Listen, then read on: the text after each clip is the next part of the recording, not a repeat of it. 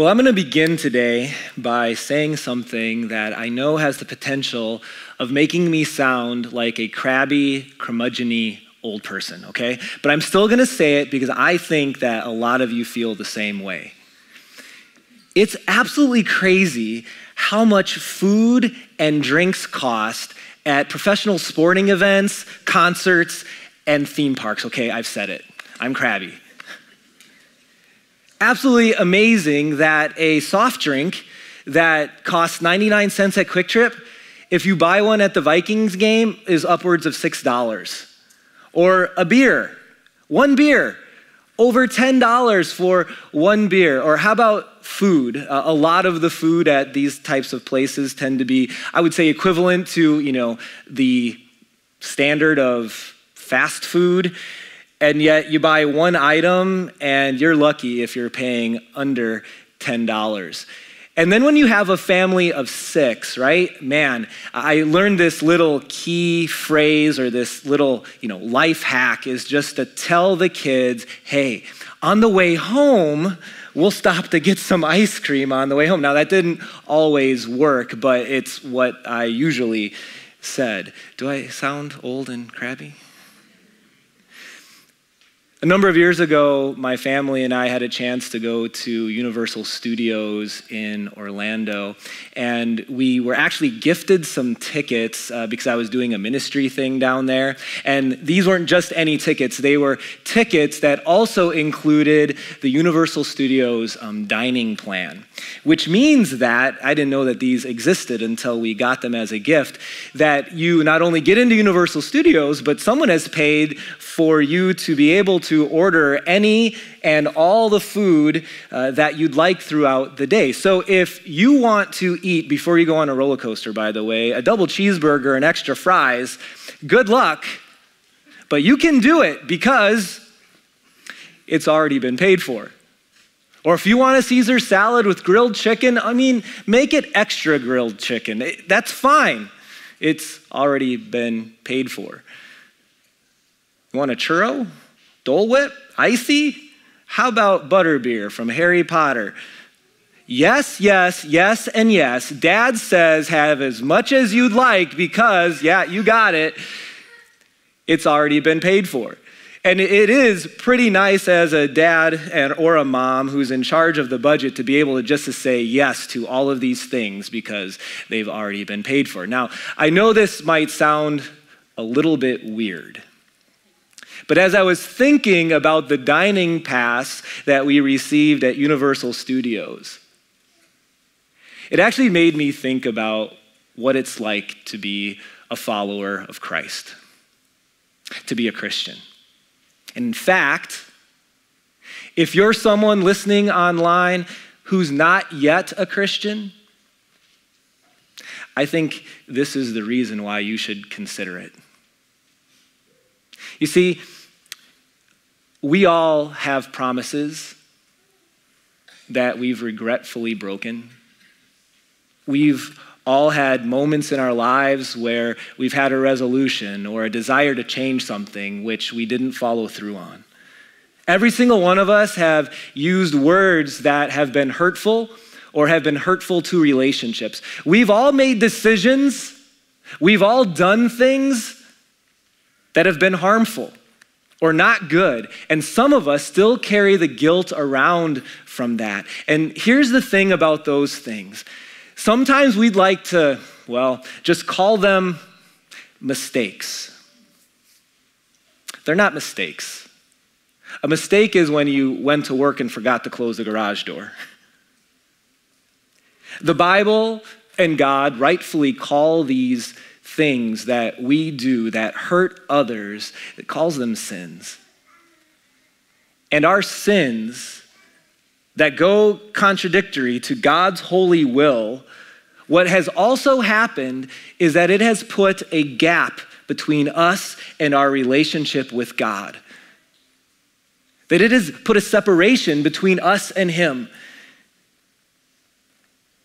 There's a debt that needs to be paid.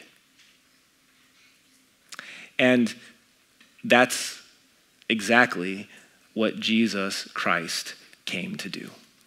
See, whether it's, it's sins from the past, whether it's guilt you're feeling in the present, whether it's failures that will occur in the future, our Savior, Jesus Christ, came to die on the cross to pay that debt, to give us a relationship with God once again. And so when it comes to those sins, you know what the reality is? It's already been paid for. It's the greatest news of following Christ. It's like God's heavenly dining meal plan. That what Jesus did on the cross paid for all of our failures and sins in an unlimited amount. And we receive all of that by faith. And what's the definition we've been using for faith in this series? It's, it's confidence or trust that God or Jesus is who he says he is and that he'll do what he has promised to do. And here's, here's the cool thing, guys, about our, our failures and our sins that we can never out sin God's grace. Here's how Paul put it in Romans chapter 5. He says, Where sin increased, grace increased all the more. There's no season of your life there's no moment in your life. There's no moment to come where what we have done or what we could do is too much for God's forgiveness and God's grace. It leads us to our first fill in for today that God's grace is always bigger than our sin.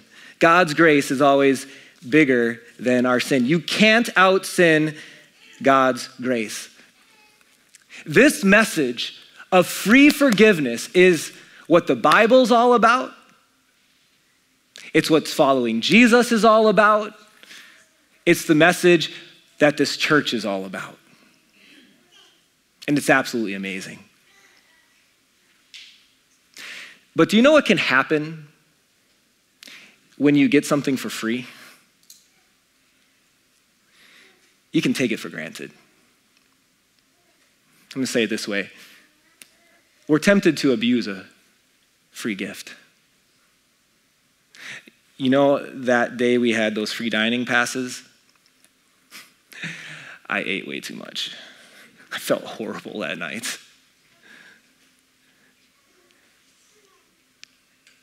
I ate more than I needed to. See, the goal that day wasn't, well, because it's free, I'm going to eat absolutely as much as I possibly can. That shouldn't have been the goal. And in the spiritual realm, because forgiveness is free, we can get ourselves also into the frame of mind sometimes of taking that gift for granted, for abusing that free gift. It, it kind of goes like this um, It's not a big deal that I go to that party, or that I have a temper, or that I make that relationship decision. It's not a big deal that I sin because it's already been paid for. And it's into that tension of free, limitless grace on the one hand, and the reality that there is a way to abuse God's gift of grace that God speaks into this morning as we continue this series called Walk by Faith. See, 2,000 years ago, there was a pastor named Paul. He uh, planted a whole bunch of churches all around the Mediterranean Sea. And one of his greatest letters that he wrote by inspiration from God himself was a letter to Christians in Rome. We know it as Romans. And this letter does a masterful job, and it's deep, I'll warn you, but yet it does a masterful job of describing and explaining that when it comes to grace and when it comes to forgiveness, it has nothing to do with us. It has all to do with God through Jesus Christ. And yet, even Paul, 2,000 years ago, knew the tendency of people, of human nature. And so he wanted to address that. And in Romans chapter 6, he does just that. After describing free and full grace, after talking about how we can never out sin God's grace, here's what Paul says. So, what shall we say then after knowing that grace is limitless and that forgiveness is always God's forgiveness is always greater than I sin? What shall we say about then that then? Shall we go on sinning so that grace may increase? If every time God gives us his forgiveness, it puts a spotlight on his love and it almost kind of glorifies God for the work of Jesus Christ on the cross when he grants us forgiveness. If, if that happens when we receive forgiveness, well, then why don't we keep on sinning so that God can be glorified more so that there can be more grace given. Here's how Paul answers his own question By no means. It's a very strong Greek phrase, me genoito. It's translated, Are you crazy?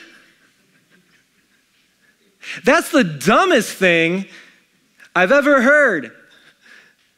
That because grace is free, because you can't out sin God's grace, well, why don't we just do whatever we want? By no means may that never be. me genoito. He continues. We are those who have died to sin. How can we live in it any longer? I want you to think about having a friend, let's say, who has a very serious drug addiction. He or she has overdosed a few times, been this far from dying. You have an intervention for that friend. They decide they'll go to rehab. And through some very hard work, through lots of prayers, through the support of friends and family, they clean themselves up they're no longer addicted to the drugs. They come out of rehab and they say, Thank you. Thanks for getting my life back on track. Thank you for helping me, well, have a new life. It's afforded me an opportunity now that my body's healthy to absorb more drugs now. You know what you'd say? Me genoito. That's crazy. That's the dumbest thing I've ever heard. That you've been cleaned up and given a new life just to just to go back to the old way of living? You see, God gave you a new life through Jesus Christ. He's cleaned you up through Christ's blood by faith. That is the greatest gift we have through faith is forgiveness and a new life. And our number two fill in says this. So then, Jesus gave you a new life so that you can walk in newness of life. Now, this makes logical sense, doesn't it? Paul has been appealing to our logic. You wouldn't get cleaned up only to get dirty again. You wouldn't be given a new life only to go and live in the old life. That makes logical sense. But what I love is that when it comes to faith, that Paul then actually appeals to something that's even more transformational. Look at verse 3. He goes on. Don't you know that all of us who are baptized into Christ Jesus were baptized into his death. Paul says that there's this amazing thing that happens when you get baptized. Now, one thing I recognize when it comes to a, a, group this large listening is that we all have different stories. Some of you, maybe most of you, your story is that when you were a baby or when you were a toddler, your parents brought you to the baptismal font to be baptized, and that's, that's awesome. But I, I know that in a group this large, that that's not everyone's story. And one thing I want to point out is this that even if someone hasn't yet been baptized, it doesn't mean that they're not a Christian or they can't be a Christian. Uh, we looked at last week that faith grows, that faith comes through the gospel and through hearing the message. And yet, at the very same time, if, if that's you, someone who follows Jesus, someone who has faith in your heart, but haven't yet be baptized, I'll say this Christians want to be baptized because, because there is tremendous blessing through that baptism. God works in baptism. It says in that verse that you're baptized into his death. And then it continues in verse 4 We were therefore buried with him through baptism into death in order that, here's what happened in your baptism. Just as Christ was raised from the dead through the glory of the Father, when we've been baptized, when we come to faith, we too may live a brand new life. For if we've been united with him in a death like his, we will certainly also be united with him in a resurrection like his. The greatest blessing that Jesus can give to us through faith is a forgiveness of sins and a home in heaven. And sometimes we, we call this in church world um, a great exchange. That there's this, this great exchange where we give God, or He takes from us, He carried to the cross our sin, our transgressions. And then there's like this transaction that takes place where instead He gives us to His righteousness. He gives us this, His forgiveness, this robe of righteousness. But, but the truth of the matter is that faith in Jesus is not just transactional. And you won't fully understand faith. You won't fully understand the depths of what it means to walk by faith when you re- when, until you recognize that it's not just transactional, but it's also transformational. Faith is. You see, when you and I put our faith in Christ through the Holy Spirit, He gives you a brand new life and he also gives you a brand new identity. We become his children, and he becomes our father. I'm going to say it this way in number three. Your new life then is a response to a new identity.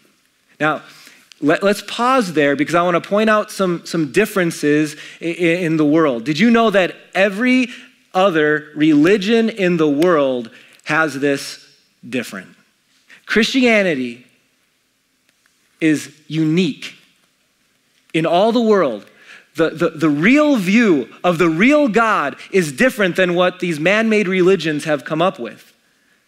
Because for most religions, the activity or the place of works when it comes to our relationship with God is this you better clean yourself up.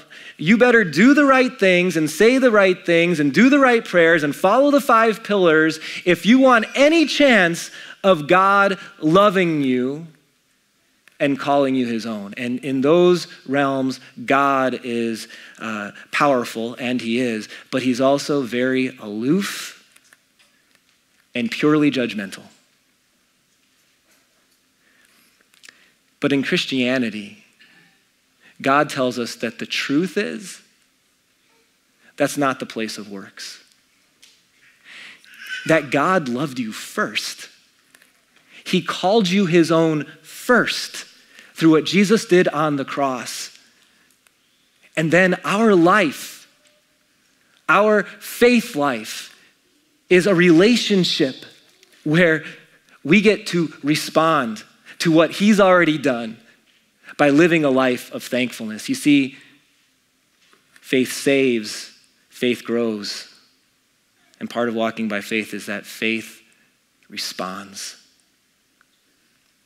Relationship changes things, doesn't it? It makes me think of a friend that I had in college. We were actually roommates for all four years.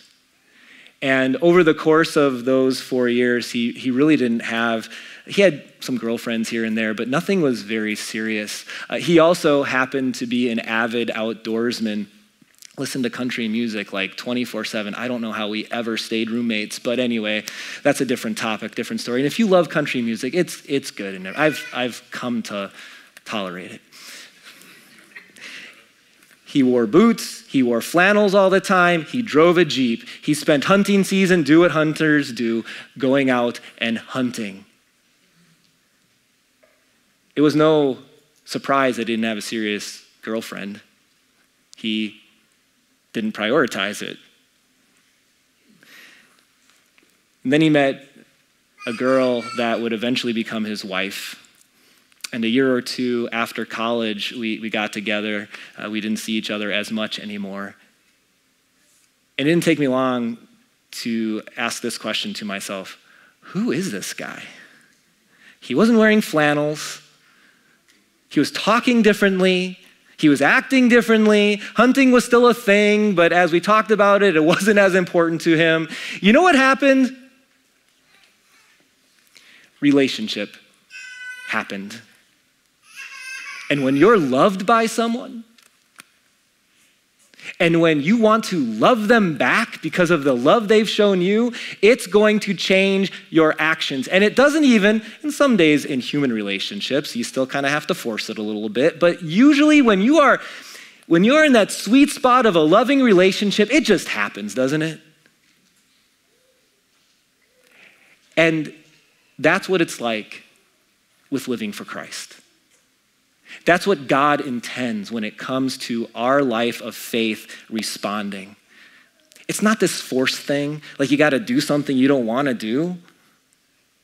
But what it can be is this relationship thing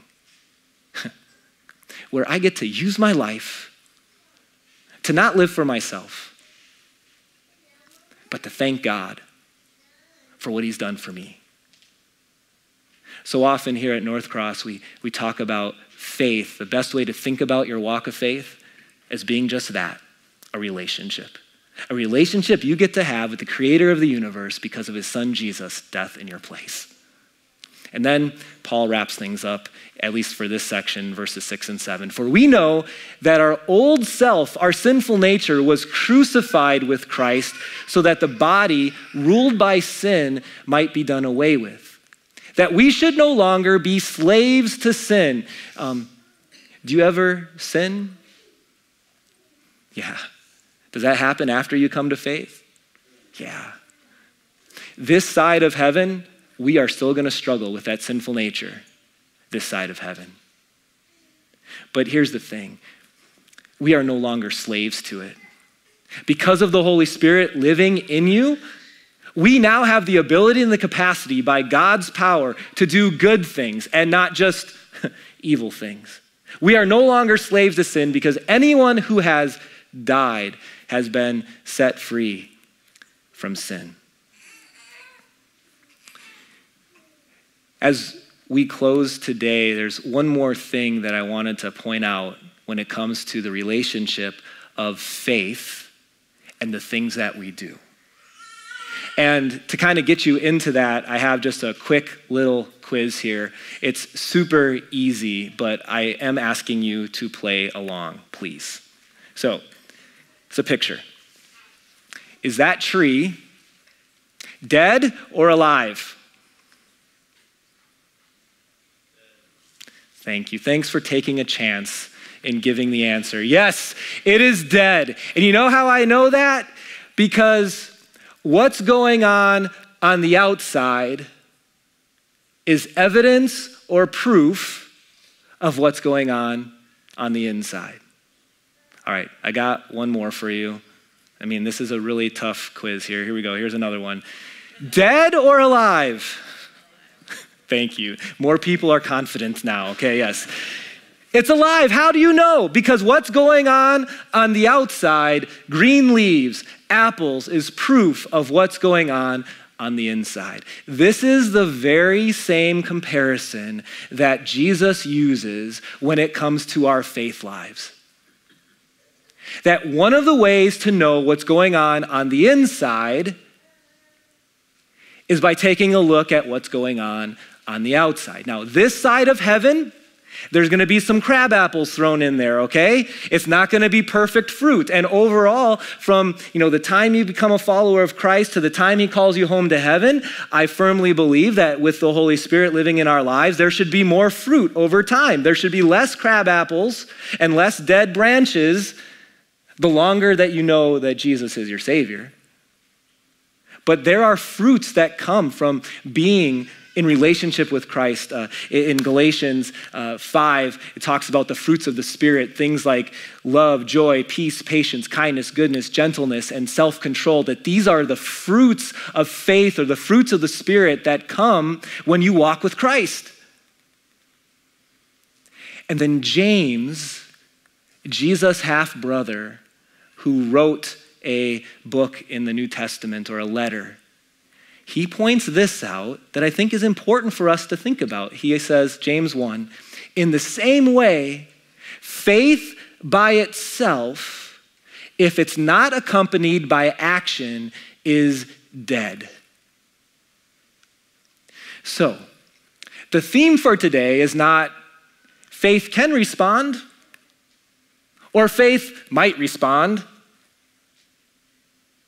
The theme for today and what the Bible says, what James says, is faith responds.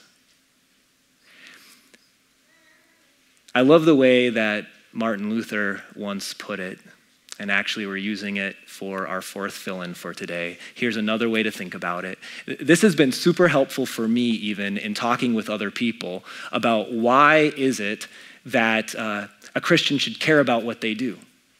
One of the reasons is this you are saved by faith alone, but faith is never alone. It's only by faith and by God's limitless grace, his dining meal plan of forgiveness, limitless, that we are saved through faith.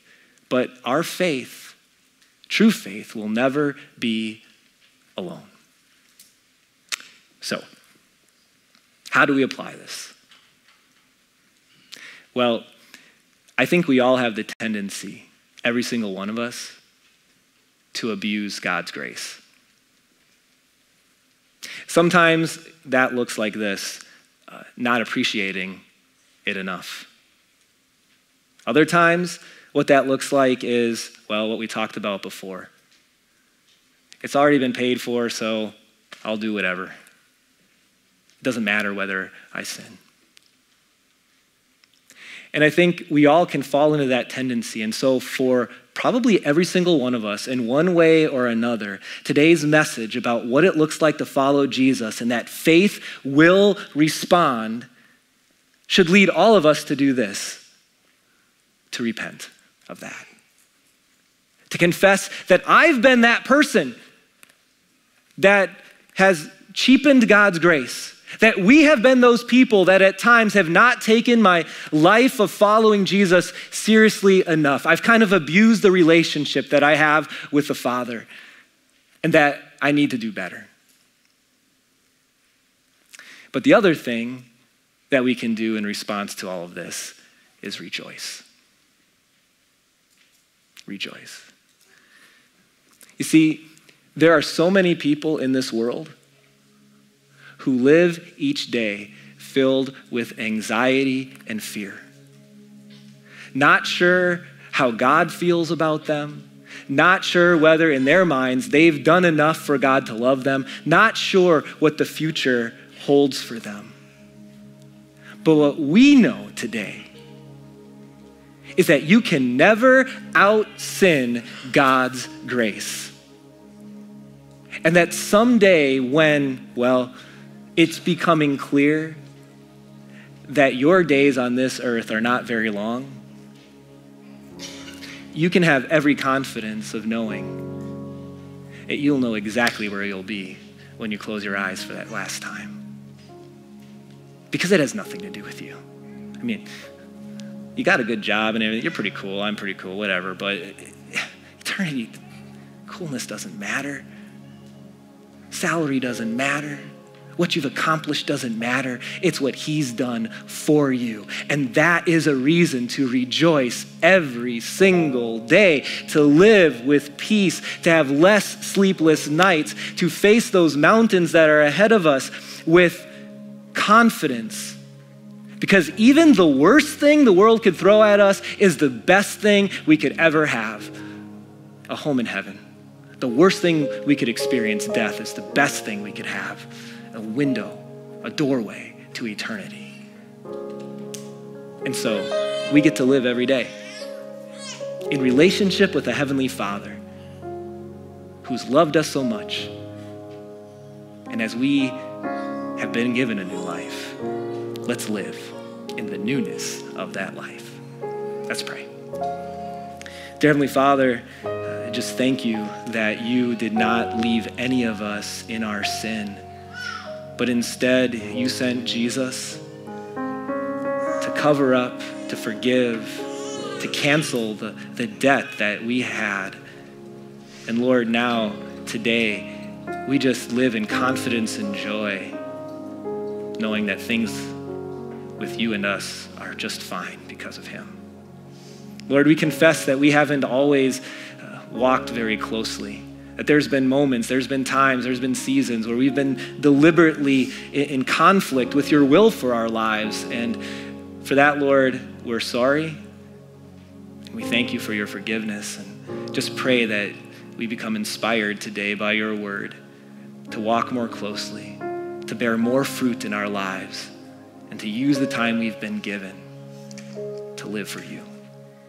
We pray all this in Jesus' name. Amen.